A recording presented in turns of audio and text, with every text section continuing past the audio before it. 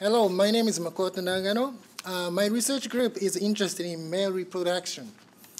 Animal reproduction is unique because there is a remarkable disparity between males and females. For example, nature created males in such a way that one man produces sperm at the rate of about 1,000 sperm every heartbeat. This is an exceedingly large number compared to the number of eggs that a woman produces. In addition, the process of sperm production continues for a lifetime without menopause. As such, Pablo Picasso had his last child when he was 60, 80 years old. So why is there such a significant difference between males and females? The reason is that there is a stem cell population uh, in the sperm producing system. These stem cells keep the same number throughout life while continuously producing sperm at a very high rate. How they coordinate their actions to balance the maintenance of stem cells and continuous production of sperm is the question we want to answer. Let's think about one stem cell dividing into two cells.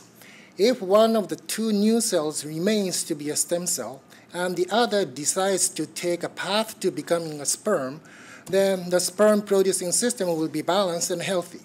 However, if both of two new cells decide to stay as stem cells, stem cells increase their numbers, but no sperm will be produced. It might even cause cancer. On the other hand, if both new cells decide to take a path to becoming sperm, then no stem cells will remain and sperm production will eventually stop. How do sperm producing stem cells know what they should do and harmonize the sperm producing process? If we look at the world that we live in, we find that nature is created in such a way that all components in nature directly or indirectly interact and communicate with each other to create a balanced, harmonious world. This gives robustness and resilience to nature and you can find the same in your body.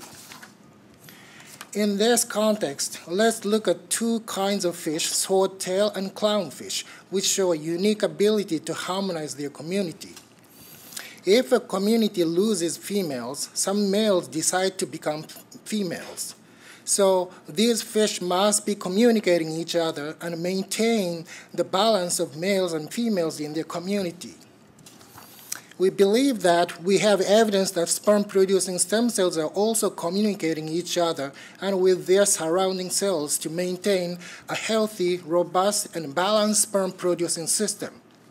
So what we want to do in our research is to become able to listen to and understand the conversations that these stem cells are making in their ecosystem. If we can do that, I believe that we will be able to ask them to do something that we want them to do, for example, in infertile patients. That is the goal of my research.